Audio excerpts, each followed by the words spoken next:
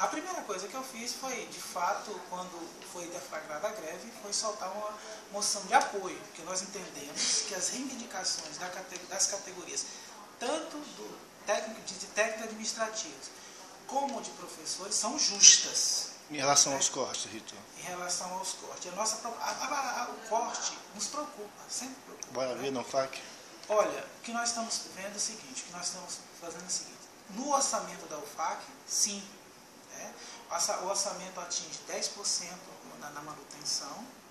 E, e custeio? E, é, aliás, e custeio 10% e, investimento 47%. Nós estamos buscando recurso extra orçamento da universidade. Emendas parlamentares? Emendas parlamentares, emenda de bancada. Sabemos que as emendas de bancada são, são, difíceis. Elas demoram muito também. É, mas nós já conseguimos. Já. Quando nós assumimos a gestão em 2012, por exemplo, eu assumi no dia 9 de novembro de 2012.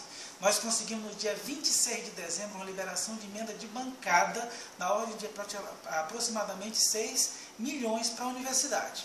Bem, um apoio foi um apoio individual. Foi a Universidade Federal do Acre que apoiou. O senhor estava em campanha foi, naquela época. Naquele momento eu estava, eu estava em Brasília, uma reunião da Andifes, e no meu horário de almoço eu me dirigi e fiz um apoio individual como qualquer cidadão tem para fazer. E por que eu fiz?